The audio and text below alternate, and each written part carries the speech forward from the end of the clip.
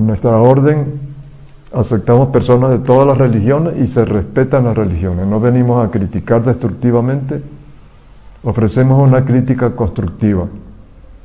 Que tu religión pueda ser mejor si la gente cuida su salud, para que den ejemplo de elevación espiritual. Que cuide su familia, su hogar, que se lleven bien en la casa, porque también puede haber conflictos en el hogar por diferentes ideas, diferentes costumbres, etc.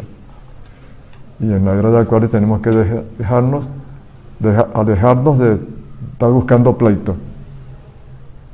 A que no me quita este, esta pluma del hombro. Siempre andamos con el desafío, ¿no? buscando la manera de pelearnos. Dejémonos de eso. Hagamos la paz. La paz empieza en el ser humano, dentro del ser humano. Dijo Krishnamurti, un filósofo de la India, la paz del individuo es la paz del mundo.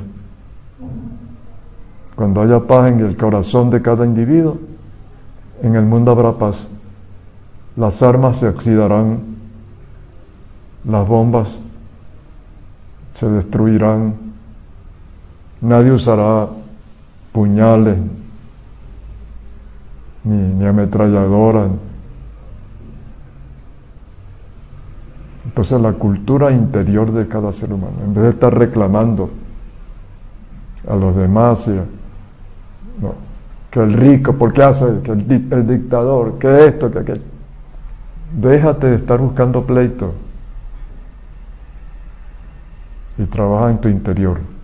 Esa es la alquimia